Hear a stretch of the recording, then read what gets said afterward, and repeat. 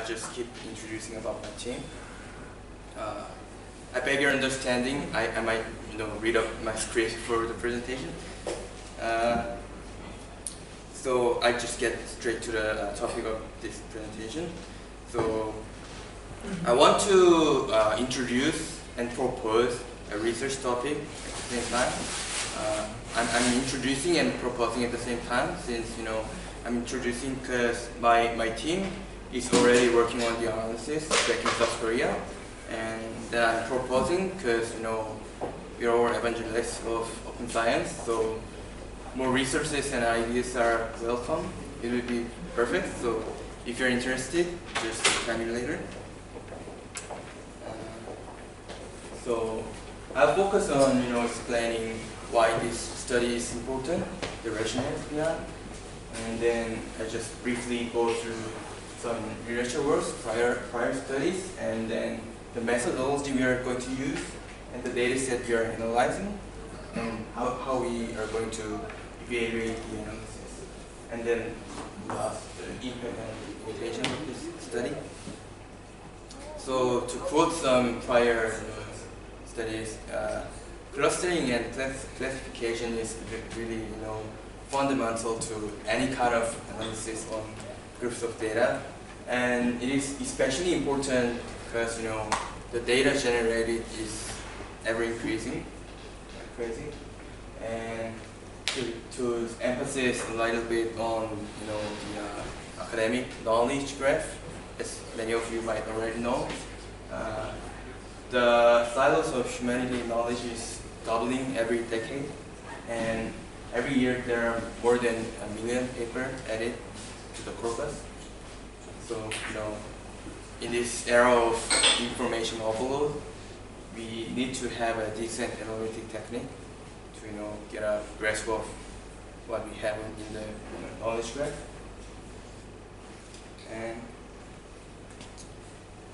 and then on the other hand, this is the important part. So instead of mentioning the uh, whole research since uh, our project, Pluto, needs this study. So to explain the part, uh, I need to briefly explain about what we are trying to do with Pluto. So basically, uh, we are, you know, kind of often mentioned together with Scienceroot on the press. So we are, we are trying to do similar things. And we want to make a publishing platform where it is you know, genuinely different from legacy system. So we don't want to have editors because, you know, and, and then no screening, like accept or reject, and then no, no grouping of papers with journals. I think, you know, already mentioned, you know, it could be substituted by, you know, labeling or tagging. And then one thing we wanted, we wanted to keep from the legacy system was, you know, having the peer review because so still, we need a measure of evaluation on every piece of knowledge. So that one part was, you know, what we wanted to keep from the legacy system. And so as a new proposed system, we wanted to have reviewers give scores on the paper they review uh, quantitatively and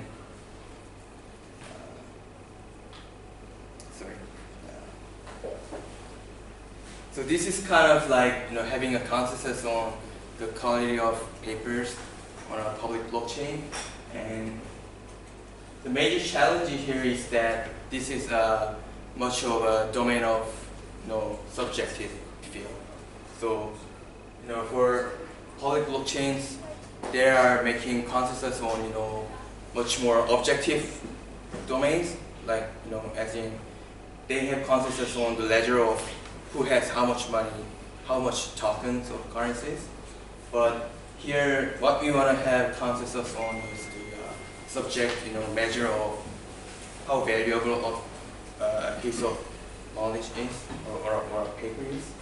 So this is a very subjective one. And uh, the problem comes in this part. So this is to have a, you know, consensus on the quality of a paper, and then the reviewers are giving scores, and then we want to have you know another question on if the reviewers are good, as good, you know, as the scores they are giving. So there's a second depth, you know, consensus. And at first we wanted to, we, we looked at it as having, you know, multi-depth review, aka, you know, review of reviews. They have it in the peerage of science.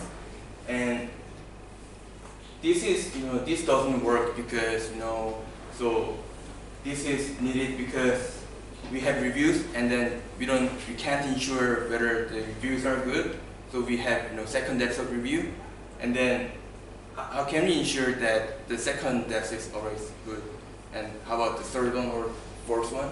So we came to a conclusion that you know, multi-depth design is doesn't work. It, uh, the game never ends with this design. So uh, our solution to this was to you know utilize the record of activity from the past on the reviewers.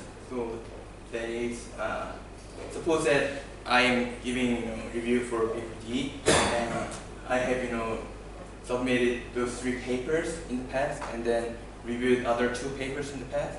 Then we can just use the similarity function between those five papers and then the paper D. So if this set of five papers and the paper D to be reviewed are very similar together, then one could simply say that, okay, I, it's okay for me to review that paper. So that was what we wanted to do with the uh, you know, analysis on clustering papers. But that's a long story for you know, explaining why we needed to do this study. And to look at some you know prior studies on this field, they have you know analyzed on the co-citation or bibliographic coupling, if you know. So this, this is you know when a paper cites two papers in a in the same document, they're co-cited, and then again a paper is cited by two different papers. There's a bibliographic coupling, and then there has been also you know studies on citances. Citances are the sentences where the citation actually occurs in the full text. So studies have been you know, analysis on this kind of thing. And then also we had recent works on you know analyzing the network we have on the knowledge graph. And I personally had experienced uh, a study in my undergraduate program uh, that was doing you know the simple analysis like you know centrality or betweenness. So that's one of the you know, most you know elementary analysis from the network analysis, but that didn't go really well. Just we found no meaningful results from those analysis, and these are uh, relatively more recent works from the network analysis field. So line is you know abbreviation for large scale information network embedding, and PTE, work, GCN, and SDNE. Those are all, you know recent works from network embedding, and which is really you know relevant to our study. And our proposed methodology is node-to-vector algorithm, which is devised by two Stanford researchers uh, two years ago, I guess. And uh, the, the core contribution from this you know, node-to-vector algorithm was you know, that it has a flexible notion of neighborhood. So neighborhood means you know the adjacency of nodes in the site network, and then they don't need a seed in the first stage. So for for you know for for ordinary network analysis, they they require a seed input to get a great modeling of it, but node-to-vector algorithm had to give no seed in the beginning, and then they use the skip-gram you know, model to uh, explore the network, and they're also scalable to large-scale networks, and they are good for general uses for any kind of networks. So this is the methodology we are trying to use to analyze our data. And our data being used is uh, offered by Microsoft Research. it has uh, more than 170 million papers, uh, metadata of them, and which covers more than 48,000 journals. Sorry about the unique user. This is about our service currently. And the prior studies had always, not always, but often been, you know, analyzing on DBLP or CiteSeer database or sometimes Web of Science. But those are uh, has clear limitations in that those two on the upper side, they are more focused on computer science field, and then they have much more or less coverage of paper. And speaking of Web of Science, we are not a you know institutional you know, research in institute, so we don't have any access to Web of Science. So, anyways, the data set we are using is this one. I guess it's uh, one of the biggest database uh, when we speak about knowledge graph. And we are going to evaluate our uh, results maybe by one of these methods. So the most simple things are you know checking the correspondency of journal.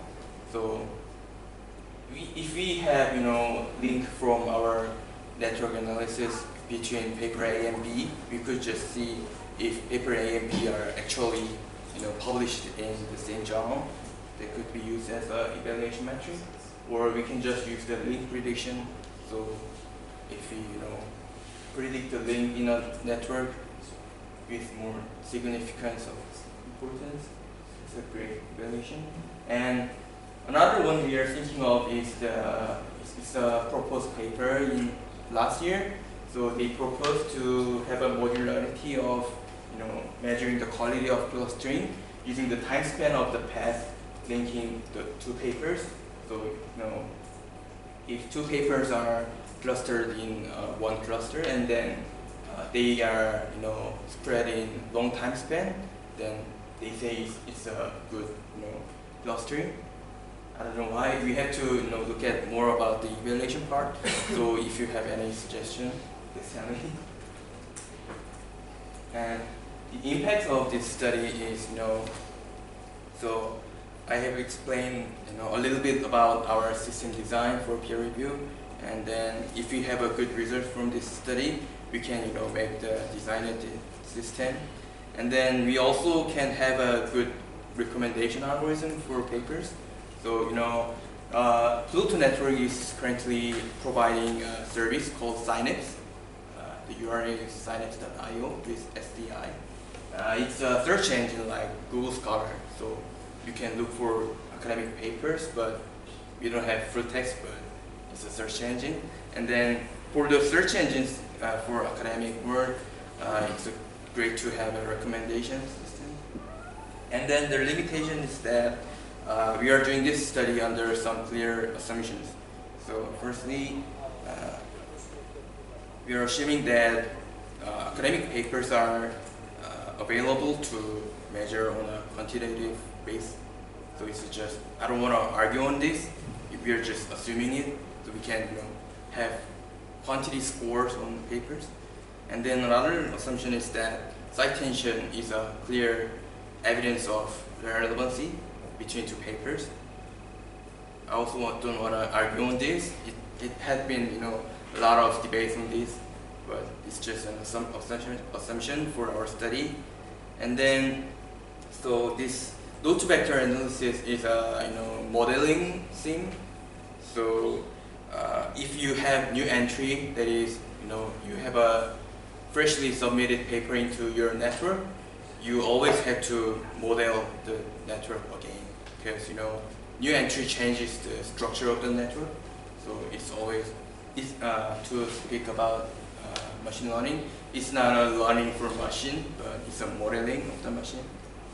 And then lastly, uh, citation practices might change in the future.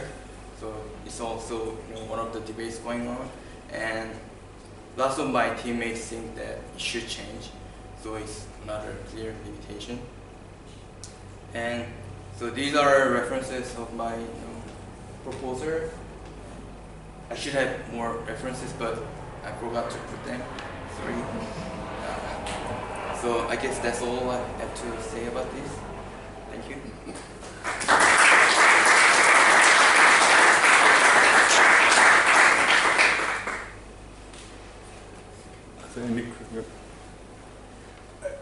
What's your view uh, comparison using um, this kind of uh, graph analysis versus AI machine learning approaches to the same domain? Basically, network embedding is one of the AI techniques. So you see a strong overlap, but you're not actually using or studying that in terms of how Pluto works. You're just providing, you're, that research is just the algorithm which could be used. Yeah, we're just Right. practically using the algorithm. Yeah. Uh, you said that the citation practices might change. How do you think they will change? Well, I personally have no view on that, but my, my team lead, Junsun, thinks that, you know, currently there's too many references. So he thinks like, you know, uh, most of papers should have like less than 10 references, but it's just his personal thought.